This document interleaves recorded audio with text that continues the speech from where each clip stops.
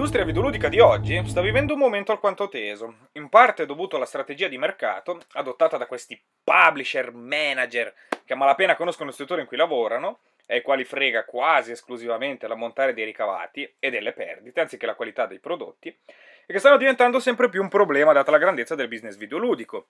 In parte è dovuta a sviluppatori ambiziosi ma privi di esperienza, sempre supportati dai publisher manager sopracitati, e in parte è dovuta anche a noi, sì, a noi, utenti, sempre alla ricerca del gioco perfetto e sempre più esigenti e critici nei confronti di qualunque progetto che attiri il nostro interesse.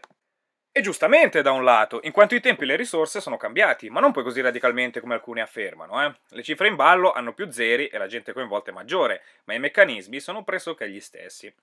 Come se ciò non bastasse, la next gen sta ancora vivendo la sua fase iniziali e i titoli rivoluzionari sono pochi se non nulli. Le piccole rivoluzioni, nella maggior parte dei casi, avvengono sotto i nostri occhi e sono talmente riuscite da passare quasi inosservate, vengono date per scontate. Purtroppo, anche in questo caso, i prodotti che hanno centrato il bersaglio, amalgamando bene il tutto, sono ancora pochi e di conseguenza lo scetticismo collettivo non fa che aumentare. E lo credo bene. Tra i giochi maggiormente sotto torchio, troviamo questo The Order 1886, titolo sviluppato dai Ready at Dawn, che senza tanti giri di parole è uscito nel peggiore dei periodi in cui un titolo del genere dovrebbe uscire, ma non perché sia mal fatto, attenzione, è un titolo sperimentale che osa laddove molti sviluppatori hanno rinunciato a priori, è un titolo fuori dal comune e vittima delle policy di mercato. The Order 1886 è un TPS story driven senza il multiplayer. Già questo è inusuale oggigiorno, un genere stra-abusato dove la parte single player viene sempre meno in favore del multiplayer, per poter poi sfruttare la componente DLC all'inverosimile, il cancro di ogni videogiocatore. The Order invece si pone un po' alla vecchia scuola, in quanto incentrato esclusivamente sul single player, quindi sulla narrazione e sul coinvolgimento del giocatore nel mondo di gioco.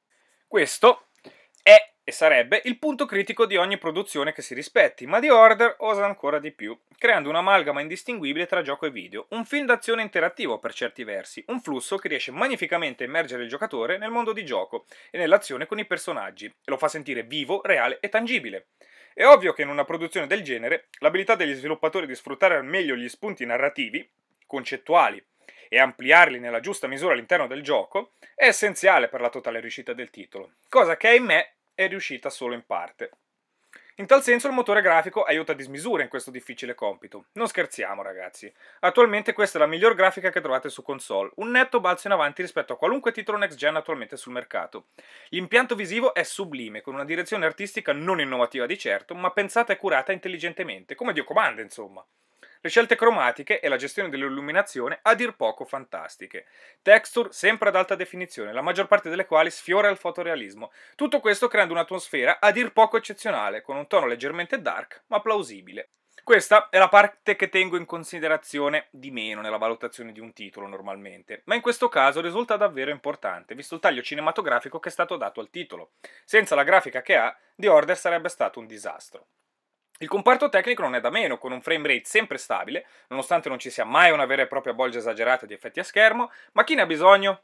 Durante l'intera sessione non ho riscontrato bug, compenetrazioni, caricamenti texture, pop-up, niente. Un impianto solidissimo, insomma, lo potete vedere da voi. Oltretutto, non esistono praticamente schermate di caricamento, cosa dir poco inusuale. Tutto ciò in favore di immergere il giocatore nella storia, con i personaggi e in questo ci riesce egregiamente. Per fare questo i Ready at Dawn hanno osato ancora di più, rallentando il ritmo durante gli intermezzi in cui non si combatte, ovvero le fasi esplorative, che comprendono anche brevi poco sviluppate, anzi molto brevi e poco sviluppate, ma curate fasi platform, dove comunque la storia prosegue tramite i dialoghi inerenti al contesto e non fuori luogo. Si vede la volontà di mostrare al giocatore l'ambiente che lo circonda e non di mostrare solo quanto è bella la grafica come tanti asseriscono. In ogni minuto di gioco lo vedi che l'impianto tecnico è sublime. Non diciamo cazzate, dai! Ci sono tanti generi e molti ibridi nell'industria videoludica e cercare di infilare con prepotenza di ordine in un genere specifico è l'errore più grosso che ogni recensore possa fare, anche se è la cosa più istintiva che venga da fare. Non vengono esaltati i punti cardine di questo titolo, perché nella maggioranza del genere a cui si accosta, ma che non abbraccia in pieno, sono differenti. Questo dà un'idea distorta del titolo e crea malcontento, con i soliti ignoranti che non avendo nemmeno provato il titolo lo bollano come fregatura, porcheria ludica e quant'altro. Dire la verità interesserebbe una cerchia meno vasta di persone, quelli realmente interessati a titoli del genere, ma ovviamente i responsabili vendite e i loro lacchè non sarebbero soddisfatti e così via. Solita merda ogni volta. Se lo si relaziona al mondo del cinema e alla sua politica, il mondo videoludico è uguale se non peggiore oggigiorno. Comunque sia, questo è il punto più importante. Se cercate un TPS frenetico e adrenalinico dall'inizio alla fine, siete nel posto sbagliato. The Order è diverso. La spettacolarità non viene da esplosioni, azioni esageratamente estreme da Armageddon o situazioni impossibili. Qui è resa in un altro modo, ma non meno impressionante. C'è un tocco realistico in tutto, a partire dai movimenti del personaggio, e le azioni eseguibili sono realmente a portata d'uomo, e mai sopra le righe. Non che i combattimenti non offrano la giusta dose di spettacolarità e frenesia, ma non di certo come in un Uncharted o nel più recente Tomb Raider. Paragoni del genere, tra l'altro, sono inutili. Punto.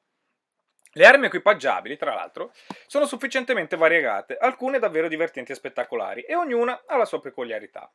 Il sistema di copertura è solido e funzionale, ma non vi rende invincibili. Mentre si è al riparo, oltretutto, la telecamera vi mostra il minimo indispensabile, aggiungendo realismo e immersione nell'azione. L'IA è discreta, con frequenti manovre di accercamento, ma solamente da parte dei nemici più corazzati e dotati delle armi più dannose, ovviamente. Vi verranno incontro inesorabilmente e ad armi spianate, mentre i compagni forniranno copertura rendendo questi incontri i più intensi durante le sparatorie. Anche se bisogna dire che, una volta presa la mano, spostarsi tra le coperture girando i nemici e sparpagliandoli renderà le loro tattiche inutili e poco preoccupanti, davvero poco preoccupanti. Dopo un po' di pratica la facilità degli scontri è evidente, i più esperti del genere faranno meglio a impostare la difficoltà su difficile. Il nostro protagonista è dotato di numerose animazioni contestuali per gli attacchi corpo a corpo, ognuna con il giusto peso, una tattica rischiosa ma molto soddisfacente, sulla falsa riga del recente Last of Us, ma con più animazioni diversificate. Eh? Inoltre, uccidendo i nemici, è possibile caricare un'abilità chiamata Visione Oscura, che ci fa entrare in una sorta di bullet time simile a quello visto in Red Dead Redemption, ma che mira automaticamente ai nemici e ne possiamo scegliere quale parte del corpo colpire. Se abusata, rende gli scontri facili, ma non ne sentirete il bisogno. Fidatevi. Oltre a ciò si aggiungono alcune fasi stealth ben distinte, in cui siamo obbligati ad agire in quel modo. Un approccio libero allo stealth sarebbe stato più apprezzato, ma il fatto è che i combattimenti sono come dire preimpostati, Qui respingi l'orda di nemici, qui elimina in silenzio, quasi come seguisse una sceneggiatura ben precisa. Questo è forse il difetto maggiore della componente shooter di The Order. È molto lineare e preimpostata. Rientra nella visione cinematografica del titolo, come un'unica grande sequenza epica, ma a livello di gameplay è abbastanza limitata e superata. Ma diverte comunque, grazie alla resa delle armi e al realismo delle animazioni. Il combattimento è molto dinamico a seconda di come decidiamo di giocarlo, però entro i precisi confini della situazione. Non parliamo poi delle fasi in cui combattiamo i licantrofi. Per favore! La parte sicuramente meno riuscita di tutto il titolo. Due o tre sequenze in cui rinchiusi in una stanza di dimensione ridotta dobbiamo schivare gli assalti dei lupacchiotti per poi spararli e finirli a coltellate. Ripetitivo e privo di senso, all'inverosimile. La cosa che più mi fa incazzare, però, è come le tematiche dei mezzo sangue o Lycan sia stata relegata esclusivamente a queste sequenze. Nessun approfondimento su larga scala o combattimenti dinamici all'aperto. Niente! Sembra un'aggiunta messa lì tanto per. Il bello è che nella trama ha un ruolo alquanto importante, ma nei fatti è quasi nullo.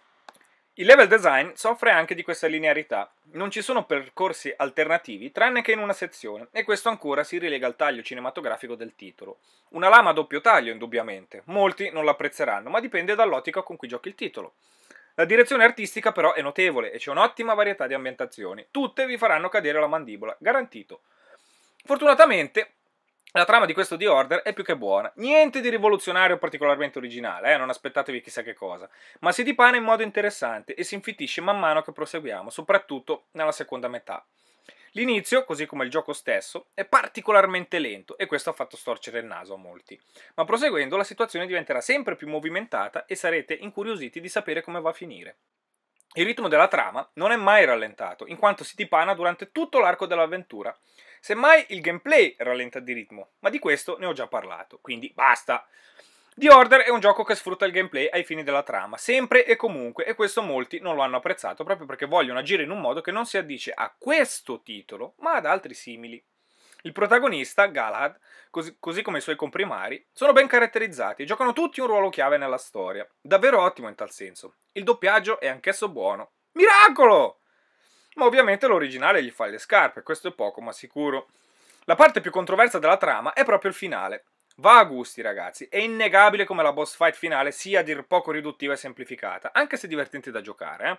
E questo mette il finale in sé in una posizione svantaggiata per essere goduto appieno.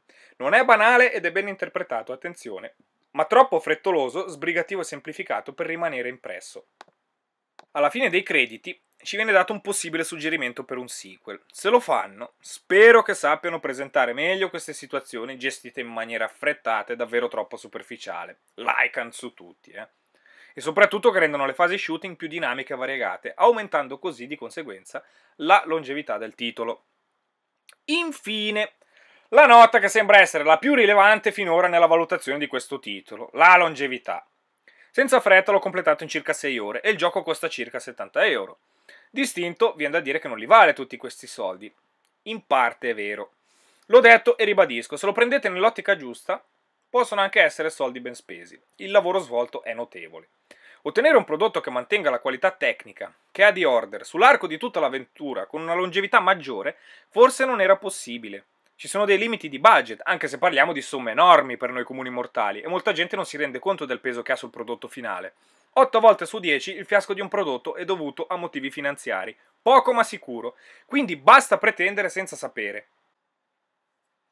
Le uniche situazioni in cui ho visto una qualità di questo livello su un gioco single player simile a questo, e per di più longevo, è stato sempre alla fine di un ciclo di una piattaforma, a parte qualche rarissima eccezione, sono davvero rare se ci pensate bene. Quindi è un'esperienza breve ma molto intensa, questo è sicuro. Se vi immergete nel mondo imbastito dagli sviluppatori e vi lasciate avvolgere dall'atmosfera sublime che il titolo offre, un viaggio emozionante vi attende, come un grande film epico dove siete il protagonista in tutti i sensi. Se siete un giocatore alla ricerca di uno shooter qualunque, ma ricco di contenuti inerenti al genere, lasciate stare. The Order è stato pensato per essere giocato in un certo modo, e quello soltanto, e in quel modo è molto gratificante. Lo so, è un po' limitativa la cosa, ma è così. Personalmente l'ho apprezzato un casino, ma resto comunque dell'idea che il prezzo sia alto, rapportandolo in generale al panorama videoludico. Bisogna poi tenere presente che tutta la strategia di marketing per il lancio del titolo e quant'altro non ha fatto nient'altro che minare la sua credibilità, e quindi non è giusto andare a colpire il gioco in sé. Bisognerebbe andare a prendere quei manager della minchia e prenderli a sberle. Questo sarebbe la cosa giusta da fare, ma non penalizzare i Ready at Dawn per il lavoro che hanno fatto, perché è davvero notevole, l'ho già detto e lo ripeto. Ma infine, è poi davvero tanto corto? Se lo rapportiamo ad un qualunque Call of Duty o Battlefield di turno, la qualità dell'esperienza in singolo, mi raccomando, non ha paragoni. Non venitemi a dire il contrario. I due citati si salvano per il multiplayer? Vero forse, ma non dovrebbe essere il multiplayer a salvare un titolo. Questo pensiero in futuro porterà a un'inevitabile regressione della qualità single player in favore del multi. Prendiamo ad esempio il recentemente uscito Evolve. Non esiste una modalità in singolo, solo una ripresa delle arene multiplayer popolate dai mob. Girateci in giro quanto volete, ma la verità è questa. Altro esempio potrebbe essere Destiny campagna in singolo strutturata esattamente come una serie di incontri multiplayer, ripetitivi oltretutto, trama a dir poco inconsistente, eccetera, eccetera. Ormai si è detto di più, di tutto e di più di questo gioco. Ecco dove stiamo andando a finire. A qualcuno può anche piacere. De gustibus. A me no, cazzo! Quindi come fai a paragonare le due cose? Dare un voto a uno sulla base dell'altro sarebbe illogico e irresponsabile, che è quello che oggi si fa di più, tra l'altro. Non sono qua a fare paragoni, ci tengo a precisarlo, ma molti lo fanno e senza i presupposti per farlo. Questa è la mia opinione. Non tirate in ballo il discorso multi, perché titoli come The Order non hanno nulla a che fare e non sono pensate per avercene a che fare. Elementare, Watson! Quindi, tirando le somme, se cercate un'esperienza action un po' sperimentale, Story driven, molto particolare, affascinante ed altamente coinvolgente e immersiva, seppur con qualche meccanica troppo semplificata e una durata troppo breve, The Order fa per voi. Se cercate un TPS adrenalinico con una bella grafica, meno incentrato sulla trama che sul gameplay, con una grande varietà d'azioni e contenuti, guardate altrove. Se è una questione di soldi, beh, aspettate i saldi e basta lamentarsi. La maggior parte dei giochi ha un prezzo standard e su questo non possiamo farci niente. Triste, ma vero.